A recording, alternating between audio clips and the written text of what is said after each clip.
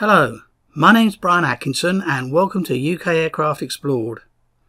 In this new series of in-depth videos covering the Avro Lancaster, we shall begin by way of an introduction with a wartime 1943 overview of the Lancaster bomber that would have been issued to both air and ground crew at the time. I hope you find this interesting. The Avro Lancaster 1 and 3 are all metal mid-wing monoplanes the former having four Rolls-Royce Merlin 20s and the latter four Merlin 28 or 38 power plants. Both have variable pitch constant speed propellers. The Mark I and Mark III aircraft differ only in respect of the power plants and associated surfaces and controls. They are designed and equipped for heavy bomber or troop carrier duties, normally carrying a crew of seven consisting of captain, flight engineer, air bomber, navigator, wireless operator, mid-upper gunner and rear gunner. The fuselage is constructed of light alloy and incorporates transverse formers braced with longitudinal stringers covered with a light alloy skin. Two longerons carry the cross members of the main floor in which the bomb gear is housed. To facilitate transport, the fuselage is divided into four portions. That is the front portion, comprising the nose and front centre portions, the intermediate centre portion, consisting of the fuselage between the spars and the centre section of the main plane, and the rear centre portion, and the rear fuselage which carries the tail unit. The main plane is of two spar type and consists of two outer planes attached to a centre section which is integral with the fuselage. The outer planes are tapered in plan and elevation and the skin covering is of light alloy sheet with the exception of the ailerons which are fabric covered.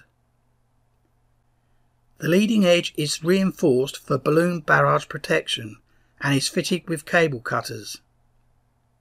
Six fuel tanks are housed in the main plane, one in the centre section on each side of the fuselage, and two in each outer plane. The main wheel units are housed in the inboard engine nacelles at the outer ends of the centre section. The tail plane is of similar construction to the main plane and has fabric covered elevators and twin metal covered fins and rudders. The entrance door is on the starboard side of the fuselage, just forward of the tailplane. The door opens inwards and an entrance ladder stowed inside the fuselage above the door is hooked to the bottom of the door frame when the door is in use. The flying controls are conventional pendulum type rudder pedals operating the rudders and the handwheel type control column operating the ailerons and elevators. Tubular push-pull connections are used except for the aileron controls in the fuselage, which consists of chains, tie rods and cables. Trimming tabs are inset in the trailing edges of the rudders, elevators and ailerons, and balance tabs are fitted to the elevators and ailerons. Mark IV automatic controls are employed.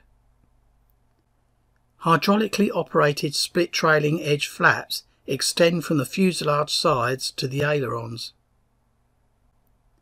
The undercarriage consists of two retractable main wheel units, one under each inboard engine nacelle, and a fully castoring tail wheel unit, which is not retractable.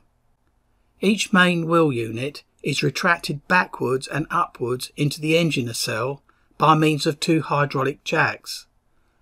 When retracted, the units are completely faired in by doors which are interconnected to the shock absorber struts and automatically closed when the wheel retracts.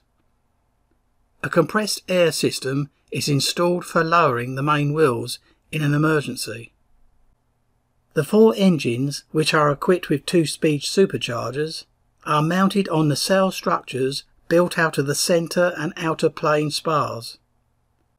Fuel is normally supplied to the port and starboard engines from the port and starboard tanks respectively, but when required, the four engines may be fed from one side by means of a balanced cock system. The oil tanks are mounted in the engine nacelles behind the fireproof bulkheads. The engines are pressure cooled and are fitted with constant speed propellers. The coolant radiator is mounted in a duct underneath the engine and is fitted with a thermostatically controlled shutter. The outboard engines are protected by armour plate fitted to the bottom of the fireproof bulkhead and to the bottom of the nacelle front former.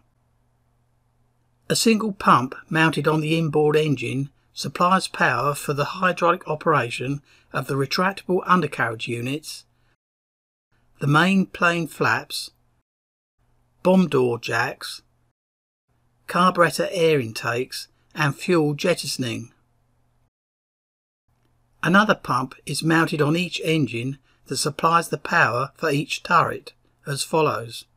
The front, mid-upper, mid-lower turret if fitted, and the rear turret. An RAE compressor mounted on the port inboard engine working at low pressure operates the automatic controls and a Heywood compressor on the starboard inboard engine working at high pressure operates the pneumatic brake and radiator shutter system and on the B Mark III aircraft the slow running cutouts are also included. Vacuum pumps are mounted on each inboard engine and operate the gyroscopic instruments on the instrument flying panel. The engines are started electrically from ground accumulators or from the aircraft's own accumulator, and hand turning gear is provided for maintenance purposes only. The gun armament consists of .303 inch Browning guns in hydraulically operated turrets two in the FN5 nose turret, two in the FN50 mid upper turret, two in the FN64 mid lower turret if fitted, and four in the FN20 rear turret. Various bomb loads may be carried in the bomb compartment in the lower portion of the fuselage. These include small bomb containers mines and bombs from £250 to £4,000 each. The bomb doors, which are hydraulically controlled, must be opened before the bombs can be released. A 24 volt electrical installation is provided, the power being supplied from two 1500 watt generators, one in each inboard engine. These generators work in conjunction with four 12 volt 40 amp hour accumulators interconnected to give a 24 volt 80 amp hour supply to operate all the services. An electrical services panel and an auxiliary fuse panel is fitted on the starboard side of the fuselage just forward of the front spar. They carry the fuses and charging instruments.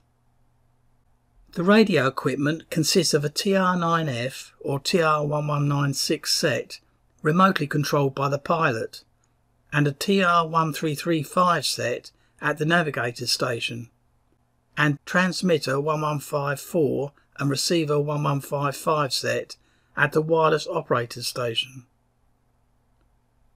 Beam approach R3003 or R3090 and T3135 and R3136 equipment is also installed.